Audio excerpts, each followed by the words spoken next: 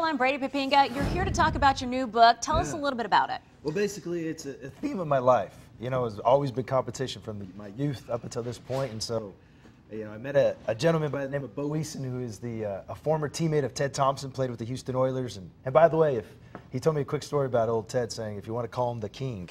Go The right king. ahead. Yeah, 'cause Okay. He attracted all the ladies back in the day because of his sweet blue and gray hair. Talking Ah, Thompson. okay. Yeah, he had the same color. Yeah, same Yeah. color back when he was still playing in the Oh, NFL. betcha. But anyway, Bo Eason inspired me to write my book, and he just he asked me. He just said, "Well, what, you know, is a theme throughout your life, and ultimately, what is something that you feel like you're an expert at?" You know, and as I started sort of going through my archives and memories, I, I thought, man, competition has always been something that has been a part of my life in one way or another, and so I decided to write on it, and I and I talk about the progression of how competition ultimately affected me, and and because in co- competitive situations, there's pitfalls and there are benefits and.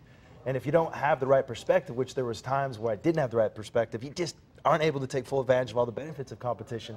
And then also my book, even though it's called The True Spirit of Competition, it shows me in football pads, it's for everybody because we're all competitors. And I talk about that, as a matter of fact, and uh, when I went down to Uruguay to learn Spanish. In order to learn Spanish and to assimilate to the culture, I had to apply the same principles that I did on the field. Okay. Well, whatever you've the done, you've done Yes. like 110 degrees. Let's Exactly. honest. Well, yeah, I don't go halfway on anything, and that's Right. just how I've been trained and taught. And then in the book, I talk about a, an encounter I had with a big burly man by the name of Larry Allen, who was a monster. Dallas Cowboys. Yeah, we played the Dallas Cowboys. I faced him. We played with the San Francisco 49ers. And then uh, really fun chapters. I talk about what made the 2010 season so special, Okay. and it's because the, the our team was built on a culture of competition. So you got to give Ted, you got to give Mike a lot of credit for that. And then I talk about Brett and Aaron and about how competition really drove their relationship.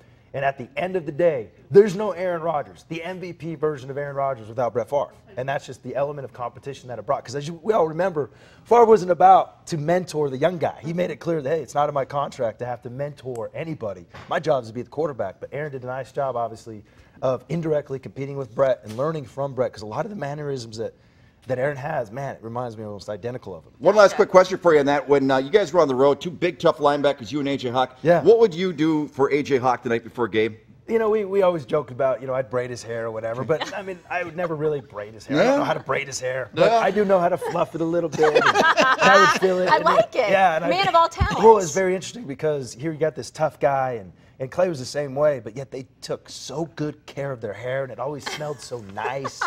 And All so, right. Mine Perfect. nice. And you're actually Of going to be holding a book signing tomorrow, right? Yeah, we'll Packers be at Pro Shop. Packer Pro Shop, D2. We'll be all over the place. Check us out on Facebook and Twitter. We'll be uh, publicizing all the places we'll be at to sign the books. Perfect. We really Always a appreciate it, pleasure Aaron. to see Bray Thank you so much. We really, really appreciate it.